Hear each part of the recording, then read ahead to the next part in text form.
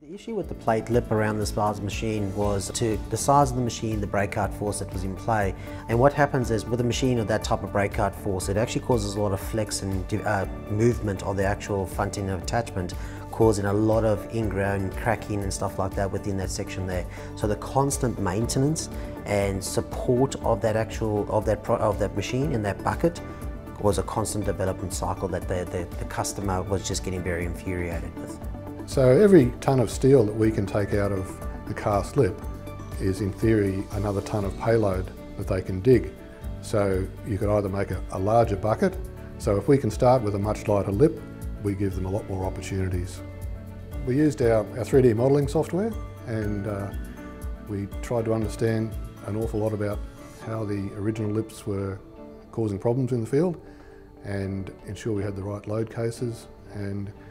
used FEA, which is uh, a finite element analysis, to model up the original lip first and see if we could reproduce what was going wrong in the field. Some of the main benefits we get out of casting as opposed to using plate steel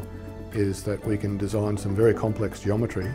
and put mass where it needs to be and remove mass where it doesn't need to be. Our very first lips performed as we'd expected, but we were also very, very pleased with how they performed. We have uh, the first few dug for around about 15 years in Western Australia